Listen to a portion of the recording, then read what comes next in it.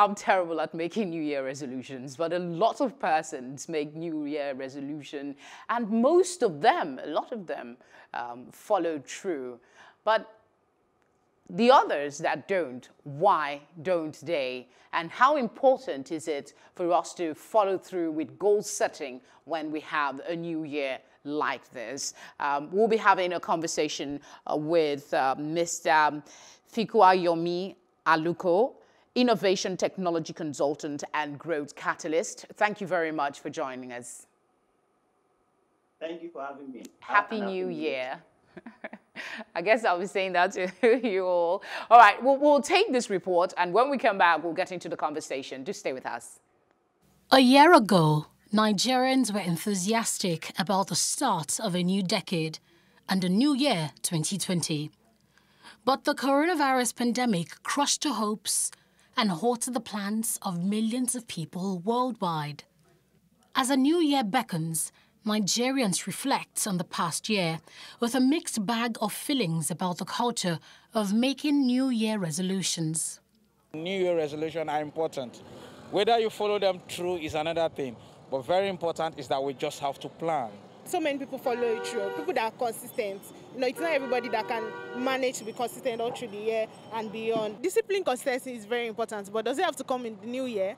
like we've all, we've all, we've all in everything we are doing we usually do need that um, consistency and discipline in everything we are doing so being a new year fine it's a new year but i think it should be an habit even before a new year performance coach abiola salami argues that the bone of contention is not in making resolutions but in resolving to make them work the thing with new year resolution is that a lot of people pay lip service to it. And if you really want to change, if you really want a transformation, right, um, it's about really scheduling that change that you want. Um, experts will tell us about goal setting, um, simple, measurable, achievable, realistic, and timely. What we should do is do the work, not just um, resolution, set measurable goals and commit to achieving those goals of renewing yourself. A cross section of Nigerians agree with him. Prior to this time, I only make um, resolutions because I feel like when it comes to discipline, I wasn't so disciplined enough. So I didn't want to be frustrated at the end of the year when I look back and see that, okay, I haven't done or achieved anything yet. Well, for the coming year, and because I'm getting older and I've experienced more in life, I just feel that there's a need to make plans and then keep to your goals. Some people can say, okay, this year I want to stop um, having bad friends, to stop smoking, to stop doing this. At the end of the day, they find yourself still doing the same thing. So I don't feel in, there's any need. Just if you know you have a goal, then follow that goal. For me, I don't have New Year resolutions. I just set down, write down things I plan on doing next year. So I'll say that's like a goal for me. New Year resolutions are actually important if you actually um, you are disciplined enough to keep to it. Like so, because most people tend to make New Year resolutions and after the first one month or two months, they don't keep to it. So I feel if you're not ready to keep to that um, New Year the resolution that you actually um, planned out, then there's no need for you to have it because you have to keep through it until the end of the year. Here's what's on the mind of some Nigerian youth to achieve in the new year. More money, we want to make more money. Before now, I wasn't really a business person, but I'm thinking of business this coming year and also self-development. Next year, I would want to focus more on my business. I sell perfumes, so I would want to expand because I like to try out new things when it comes to fragrances. So I would want to expand more, try out new things, and see how it um, works out.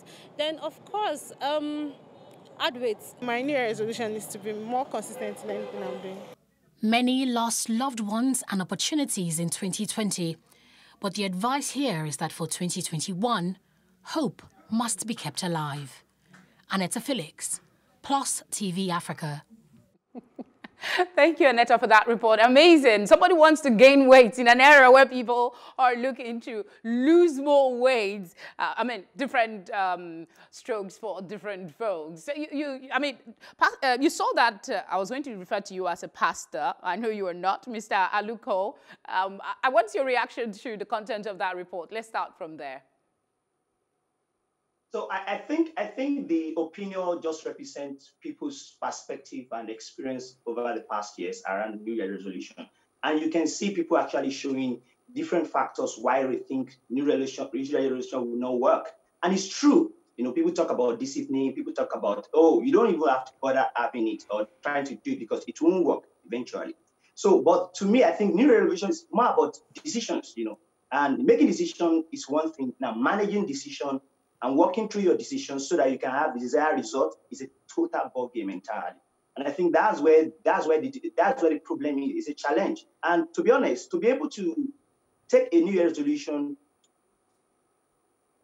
to, to actualization, there are, there are multiple factors. It's not just one thing. There are all things that really comes together that influence people's results after they have decided this is how they want to live their life in the new year. So it's a new decision. So decisions are like vehicles. They transport you to your new destination. Yeah. So the, the, one of the things that came out, one of the things that came out of that report was the ability to make um, measurable goals. Um, how can people actually make, sometimes you, you have very laudable ideas, like you said, pulling through is the problem. How can people make goals that are achievable? Uh, we know for sure that one of gaining weight wouldn't be much of a problem, but when you talk about others, I mean, what, how would you suggest people go about it?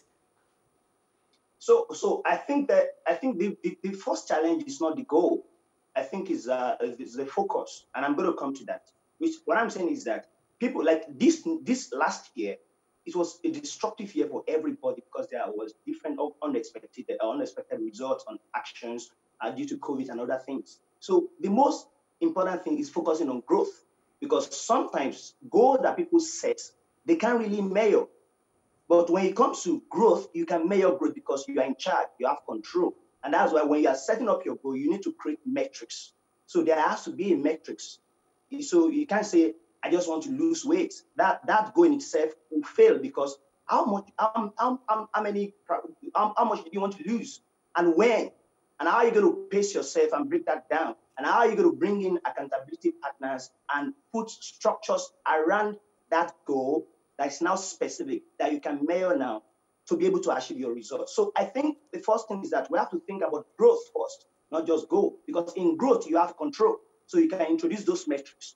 And beyond introducing those metrics, you can measure those metrics and build structures that will sustain that, that, that your growth goal so that you can get to where you want to go. Like I said, it's like you are making decisions. Actually, forget about all the label. It's about decisions. And you the decision is like a vehicle transporting you to your new destination. So you need metrics, and you'll be able to break those metrics, those those metrics down over a period of time, and you can measure them. So if if, if there's a goal in the next six months to lose a particular uh, you know amount of weight, you know, you know, particular pounds, you want to lose this. Now you can break that that down into into weeks, into months, because there's a metrics. Then you can build accountability partner around yourself that will help you. They will hold your hand. They will hold you. They, make, will make you responsible. And because you you you have respect, you have ego. You know, you don't want to lose face. So you are going to do what you need to do, even when you are not feeling like that. And that's why the other discussion makes sense that talk about discipline. Because when it comes to discipline, it's not what you feel, it's what you do. It has nothing to do with feeling, it's more of decision and people holding you up. And the last thing is that structure. You need a structure.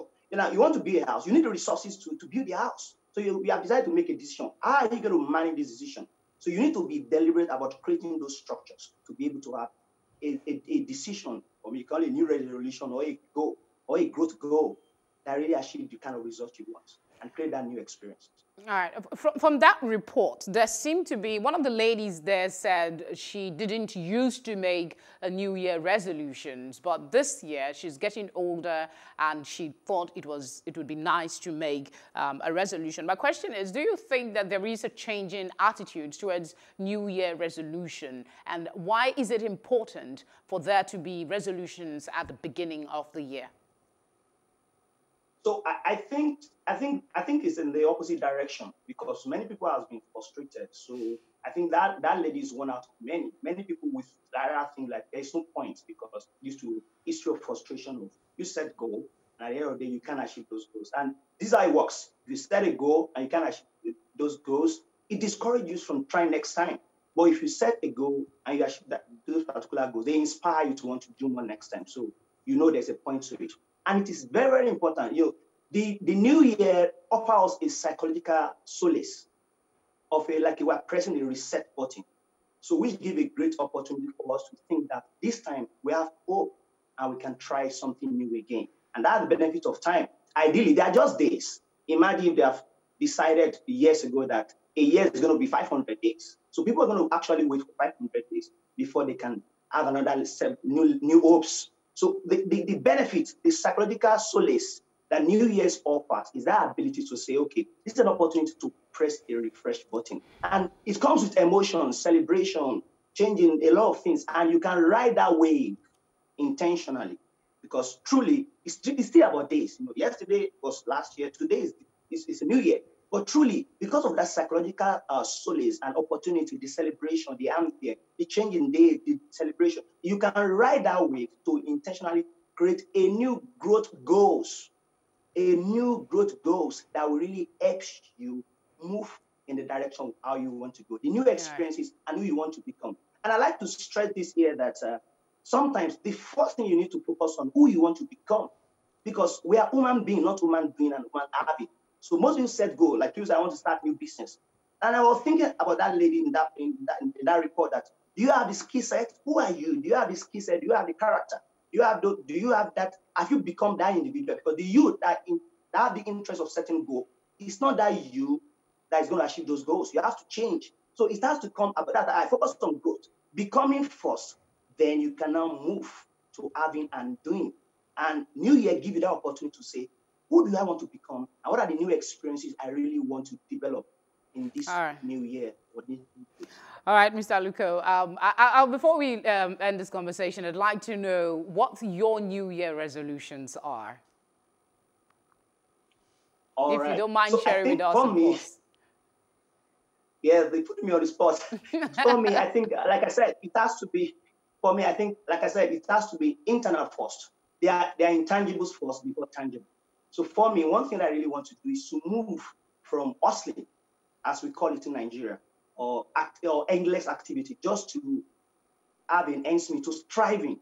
You look intangible. So and that, how that applies to me is that what are the things that I really want to do in my life?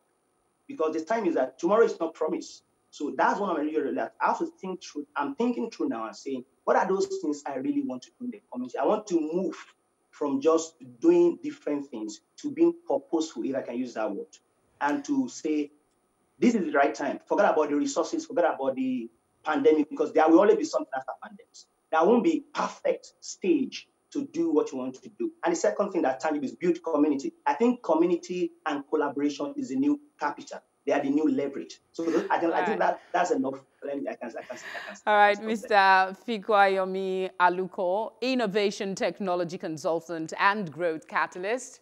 Thank you very much for sharing your time with us. Thank you for having me. Happy New Year one more time. I too have a resolution, by the way. I think my resolution will just basically be to be happier. More money is good, but be happier I mean, do things that I love to do. That's just about it. Whatever comes, comes at the end of the day. All right, we'll go on a short break. When we come back, we'll be talking Nigeria's 2021 appropriation bill that has been signed into law by President Muhammadu Buhari after this.